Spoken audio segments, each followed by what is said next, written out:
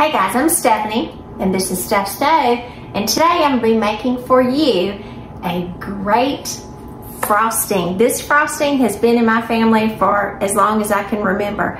My mom made it all the time, my grandmother made it, and it's just been passed down through the generations. It is a wonderful homemade chocolate frosting. Some people call it icing because it's not as thick as normal buttercream frosting, but it is just delicious. Traditionally in the South, you would see it on a one of those enormous 10, 15, 20 layers if you wanted to get it wonderful chocolate cakes and it be at all kind of family gatherings, potlucks, dinner on the ground, and so forth. But today, I'm not making the cake part, I'm just making the icing so you can enjoy it with your family as well. Great to go on top of a sheet cake, cupcakes, or if you want to venture and make one of those gigantic tall cakes, we'll make that at another time.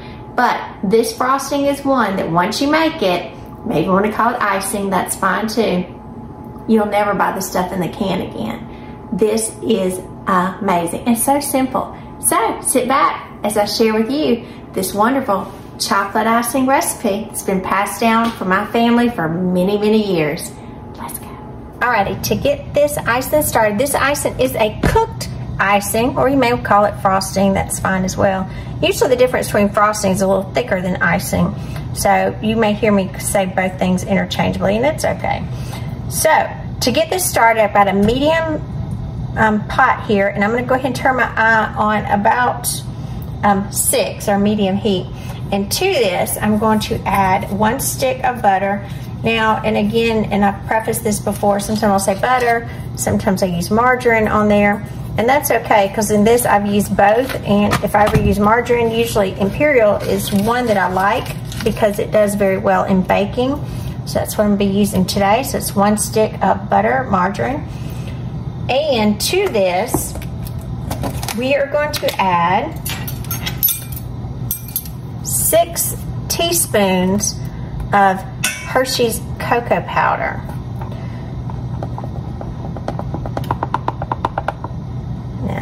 Not going to try to get this exact.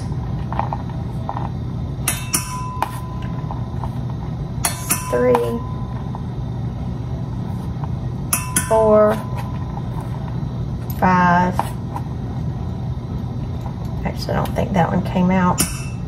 Five, six. And usually I'll heat these up. I'm not trying to be exact with the chocolate measurement because I do like um, a lot of the chocolate. And now we got our butter that's starting to melt in here with our cocoa. And to this, I'm going to also add some evaporated milk. So I'm going to shake this up just a little bit to be sure that it is well shaken. And I don't know if you do, but generally always wash off the tops of any kind of your metal cans. And then, if you can see me, I'm just using a regular can opener here.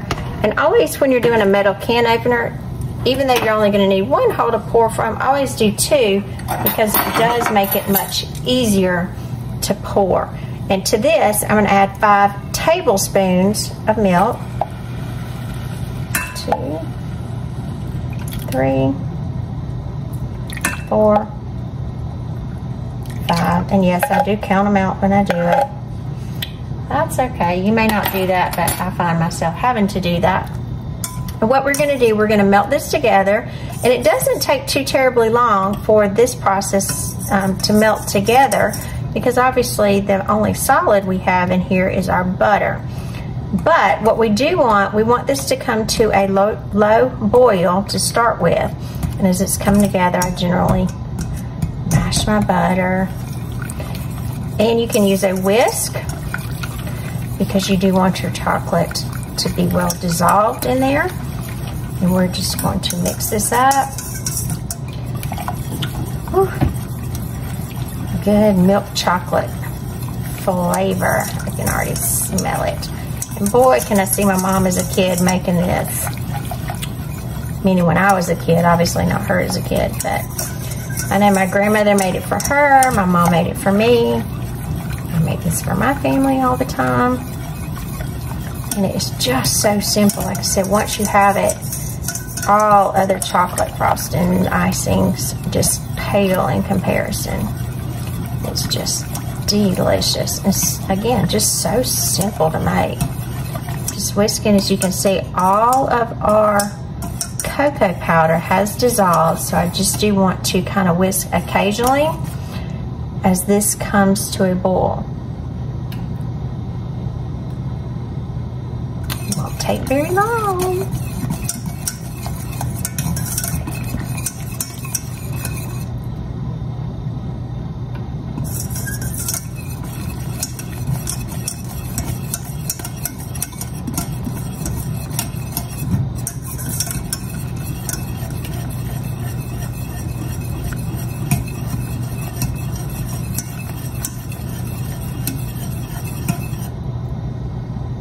Chocolatey color.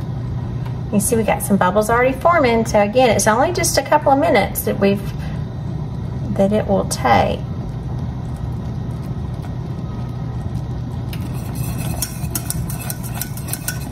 And again, I'm not trying to make a rapid boil. That's why I'm stirring in between because I do want a low boil Make sure your pan's large enough. Don't use too small of a pan where it'll boil over. Now, after it comes to a boil, I'm going to turn it off. I'm going to continue to whisk because you do not want this to burn on the bottom. Move it off a little bit off my eye. As you're whisking it, it's cooling down the, mi the mixture because it's adding air into it.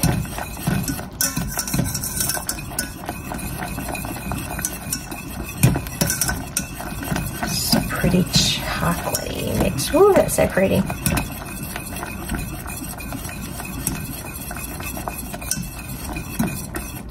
And you can see it's already um, begin to thicken at this point too. So it's not super liquidy. Now it is liquidy, but it's not, it's not like water.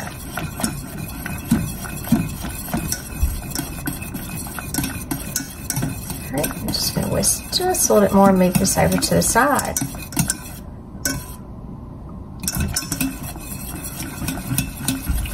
Just gonna continue now. I'm gonna move it completely off the eye.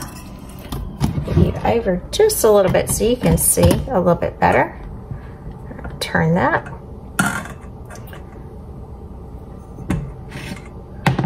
move this up, give you a little better angle here. Hopefully you can see that. Now, um, after it is off the eye, I'm just going to continue again, whisk it again because I don't want those um, butter solids to separate. I want them to stay together. All right, and now at this point, I'm going to come in and I'm going to add a teaspoon of vanilla.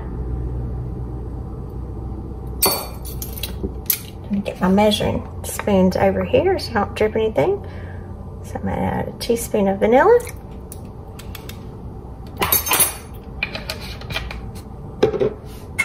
And make sure when you're adding your vanilla or something like that, an extract, that you do it off the heat because you don't want that flavor to cook down and dissipate. You do want it kind of your last thing that you're adding. All right, now I'm gonna move away from the stove for just a minute. We're gonna add one more ingredient and make this just even better.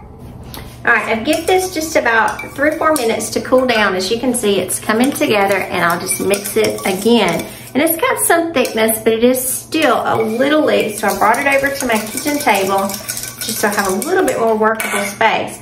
My pot is somewhat warm, but it is not super hot at this point. So what we need to do to finish this is add some powdered sugar to it. So um, my mom's original recipe, as my grandmother's, it would always say to add a box of powdered sugar. Well, we don't get powdered sugar in boxes anymore. So you can measure this out and generally I get powdered sugar and put it in a big container because I use a lot of it. Um, about three and a half cups will be equivalent to a box. And sometimes I go ahead and put four cups in. So I'm gonna go ahead and gonna start with one. Kind of help me here and mix it together. And I can remember my mom, when she did this, she'd always do them one at a time. Mix them together and you see it gets a little bit more substance. You can put it all in there, but I found that if you do it just a cup at a time, it's much better. So I got one, and I always like to put it all together. And this is so good. My husband just came in from work just a minute ago and he said, oh, I said, golly, said, you make me so hungry without I'm ready to eat it. So he'll get to eat it in just a few minutes when I get finished. So here's two, and you can see as you put it in, and again, I'm still using the whisk here, it will get a little thicker each time. But again, this is not a, a frosting, icing, I'll use kind of the, again, the term interchangeably because I've heard some people call it icing, but I think of my mom's original recipe. She called it a frosting. See, we're getting a little thicker and I can feel a little bit more effort when I'm mixing it together. And so I'm gonna go, this is cup number three.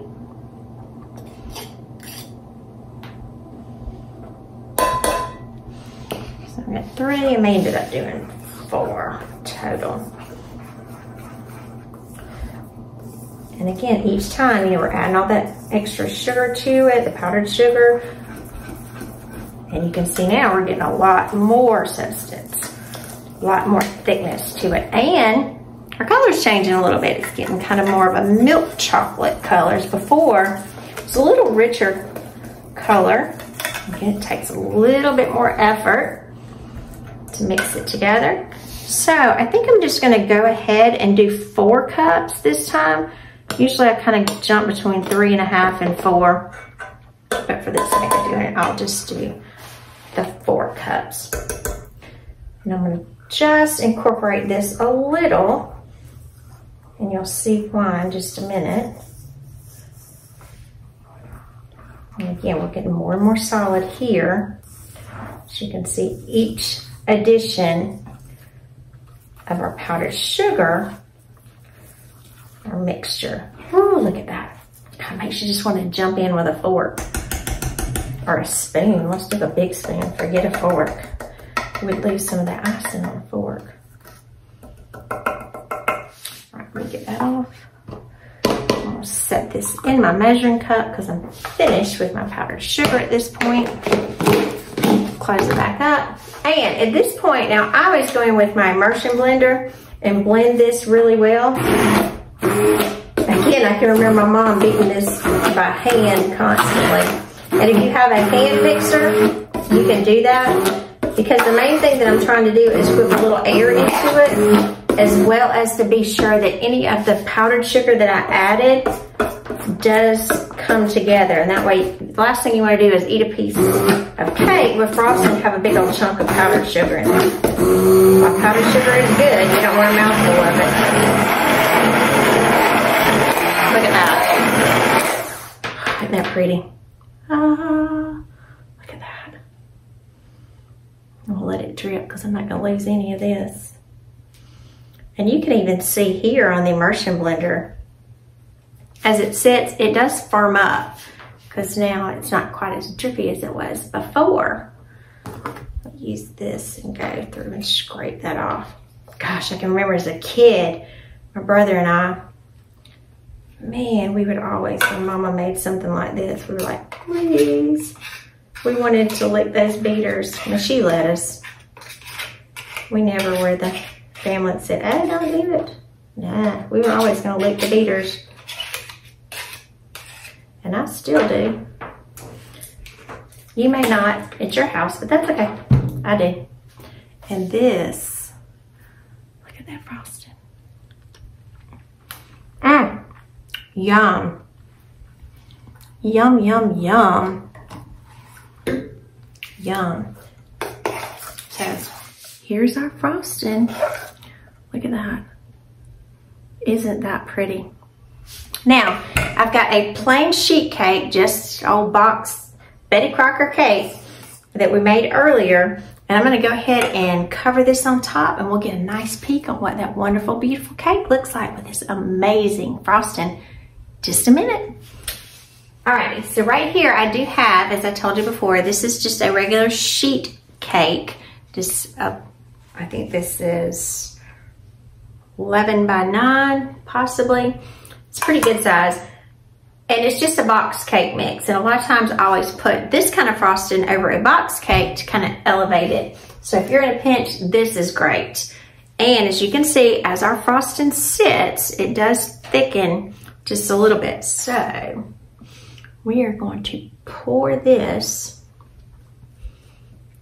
over the cake. And my husband even says, well, he loves like a yellow cake or a butter recipe cake with this homemade chocolate frosting. Ooh, yummy. Look at that. Now you do want your cake completely cool because if it is not cool, it'll kind of run all the way down. And the good thing about doing it on a sheet cake like this, it just kind of puddles on the side. This is probably one of the ways that my mom would make it most often when we were growing up, just because it's so easy and just some kind of good. You can top it with pecans, walnuts, or just leave it plain. Isn't that pretty? I'm gonna be licking this in just a couple of minutes. So let's cut this. Now, if you do let it sit just a little bit longer, the icing will get a little bit firmer. So I'm gonna go ahead and cut in because I want some of this good icing. I might go ahead and just cut it all the way down. It'll be easy because we'll probably be knocking this cake out pretty soon. Go ahead. And if you're traveling, doing a cake like this, travels really nicely as well. So let's scoop this out.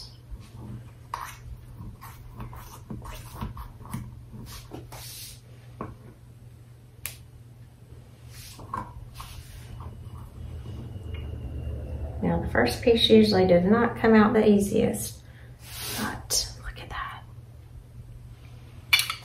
Look at that cake right there. And as you can see, it's just kind of billows over to the sides. And that's traditionally what this icing will do. It just goes down everywhere. So, I will say, I'm Stephanie and this has been Steph's Stove. For today, we made an icing that is just one that I grew up, this homemade chocolate icing. So good. Mmm. This is some kind of Mmm. Takes me back to my childhood always as well. And if you like milk, this is probably a two glass of milk kind of cake because it is just super sweet and it's super, super good. So enjoy this chocolate frosting with your family as well. Mmm. Delish. Give us a thumbs up. Click that subscribe button for more great content like this. And remember, Steph's Stove, where we're making memories, one dish at a time. Enjoy this recipe. Here's my mom's original card that she gave me I've had it for 30 years of this chocolate frosting that is just delicious. I do hope you enjoy it with your family as well. Thanks for watching. Have a great night. Bye.